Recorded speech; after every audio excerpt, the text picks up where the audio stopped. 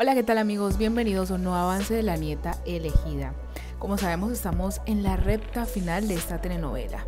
Vivian tocó fondo al hacer tratos con Braulio, todo por el odio que siente hacia Luisa, pero todo le ha salido mal, ya que Luisa sigue viva. El único que ha salido afectado con todo esto es Juanes, que está a punto de morir y ser desconectado. Para estos avances vemos que Vivian le cuenta a su mamá que está colaborando con la policía para recibir una rebaja de pena. Rosa se enoja y le dice que tienen que salir del país y escaparse. Esa es la única salida que tiene Vivian, porque de lo contrario, iría a parar sus buenos años en la cárcel. ¿Qué opinan ustedes? ¿Será que Vivian es capaz de escaparse o no? Déjenmelo saber en los comentarios.